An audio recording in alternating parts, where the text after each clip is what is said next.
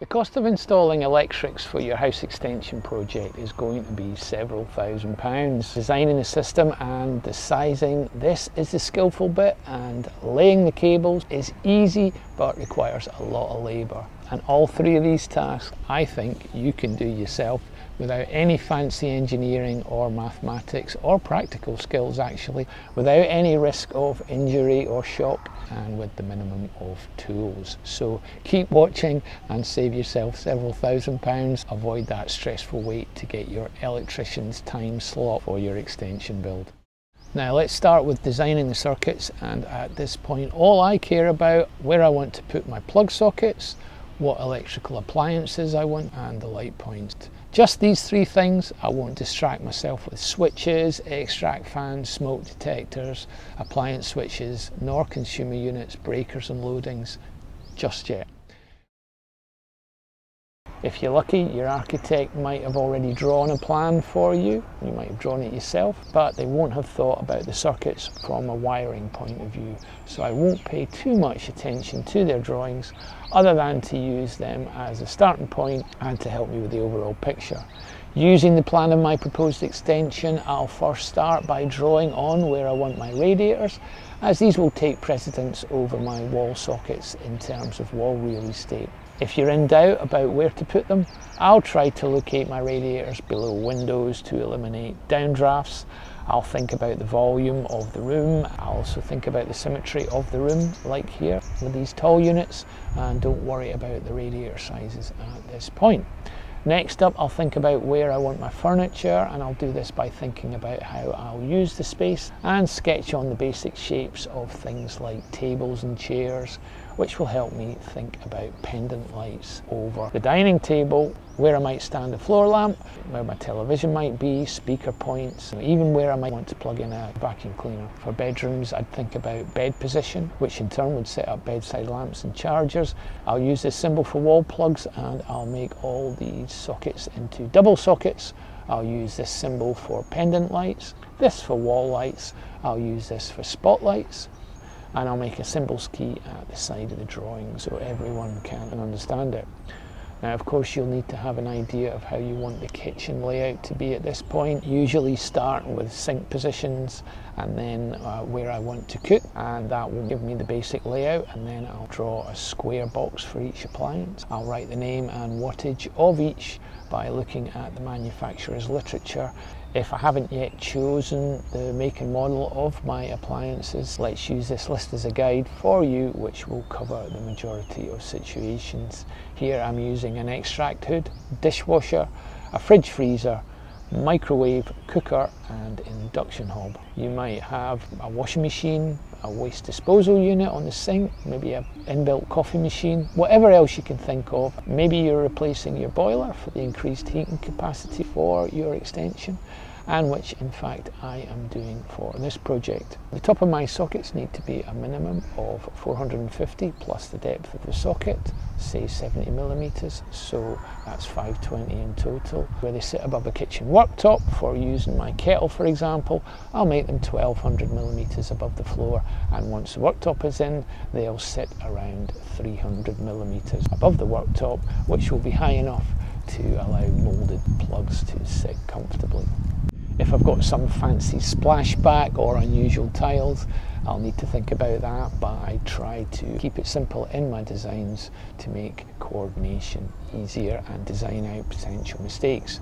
Now, if you're looking at a typical home extension under, say, 70 square meters, the information I'm going to provide here will do it for you, but I'll always check with my certifying electrician before I proceed, just to be sure. If there's doubt in your mind or if you've got a bigger floor area, meaning long cable runs, then sure, you can manually calculate the cable sizing using some online helpers. And once I've laid out my sockets and appliances, it's time to position the switches. For the light switches, I'll use this symbol. These switches sit on the wall at waist height to comply with building regulations, these need to be a maximum of 1200 millimeters above the finished floor. I also want all my light switches to line up and coincidentally that's what we set out our worktop sockets at so the whole thing is coordinated. With our layout complete the only thing I need to know is the position of my consumer unit then it's time to plan the route of circuits which will run from the consumer unit. I'll group all the sockets and the appliances operating under say 1500 watts into one circuit and I'll make this a loop where the cable snakes in and out of each socket and then back to the consumer unit and I'll use 2.5 millimeter twin and earth cable. So the appliances under 1500 here are the dishwasher, the microwave, the extract hood and the fridge freezer. And before I go any further, I'll add the wattage up of each of these appliances and then I'll count the number of spare sockets. I'll include a kettle at maybe another 1500 watts and add an additional 100 watts for each spare socket and if my total wattage exceeds this number then I'll consider splitting the circuit into two. This loop is what we call a ring main and I'm creating a single ring main for the sockets in this extension. Each socket on the ring will have cables coming into it and then the same cable will come out to go to the next socket and then back to the source. Now about those bigger wattage appliances, they need a thicker cable and I'll make a single circuit for each. I'll use a 10mm twin and earth cable. Now for sure I could use 6mm if I do the sums, but we're belt and braces here. These circuits where they don't return on a loop to the consumer unit are called radials and I'm using individual 10mm radials for both the induction hob and the cooker I want the new gas boiler to be on its own circuit too, but due to the low wattage, we can use 1.5 millimeter cable here. If it were an electric boiler, it would be a thicker diameter of cable. Now, we forgot about our appliance switches. Appliance switches sit on the ring main with a branch off called a spur, and these switches control the actual plug socket at the end of the spur powering the appliance. Because these are sitting in an inaccessible position below the kitchen cabinets, we need to control them remotely from these switches. I'll use this symbol on my drawing for my appliance switches. We need to be able to remotely switch off the appliances before we start to, for example, work on them, maintain them or do repairs.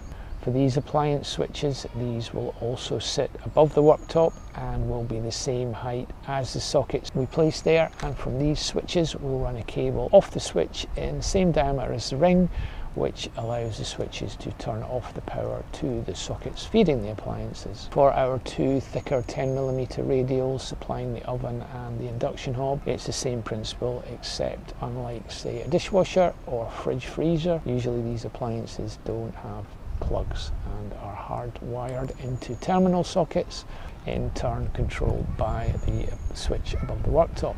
I explain it better in my induction hob video which you can click on Sometimes I'll sketch out wall elevations to help me with this, especially if the plan starts looking a little bit crowded like here. Onto our lights, Domestic lighting is also done using radials and for a typical three bed house I'll use one millimeter cable. Usually these houses will have a single circuit for the lighting for each story serving a variety of switched zones using a combination of switches and junction boxes. Sometimes there's another circuit for the hall lighting. It really just depends on the individual electrician. If you had a lot of high wattage lights, you'd maybe split the circuits further. You'd engineer it by counting the fittings and their output and then look at the length and thickness of the cable. Thicker cable can take a greater power load and go for longer. And as I said earlier, if you're in doubt, ask. Instead of 1mm twin and earth, you could just play it safe and use 1.5mm for your lighting. Alternatively, if you're a bit of a nerd like I am, the sums you need to do are really easy and you should have no problem. But since this is a typical two-storey house and I'm building a standard single-storey kitchen extension with standard amount of lighting, I'm not doing the sums and neither will your electrician whom you are paying. To avoid any problems with the existing lighting in the house, I'll just make a single new radial circuit for my extension lighting and break it up into individual runs for each area using a combination of switches and junction boxes to create my separate lighting areas. I'll think about where I might like to be standing when I switch my lights and how I want to use the space in order to figure out the number of zones and the position of the switches. Here I'm thinking about a set of directional wall lights to bounce light off the sloping ceiling and back down onto the dining area. So I'll make a switch to control these and then I want some downlighting via some recessed spotlights to provide task lighting over the island unit and the countertops so that will be my second switched area.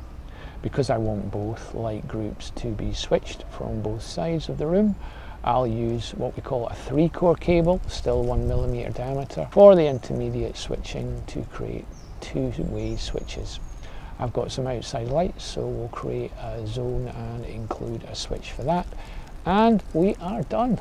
Please give me a thumbs up to help my channel and in the next video I'll explain how I use these electrical layouts, buy the materials and start on the wiring itself.